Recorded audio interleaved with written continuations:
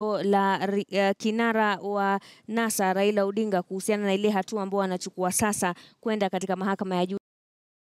They assemble their evidence, they bring it to the court, the court makes a decision based on the rule of law and uh, based on the evidence, and we'll see what happens. I mean, obviously, um, there are many different issues and factors that need to be considered in any election. So, you know, I look forward to seeing the opposition case and the place for the decision to be made about whether this election was free and fair is in the Supreme Court. So I welcome the decision.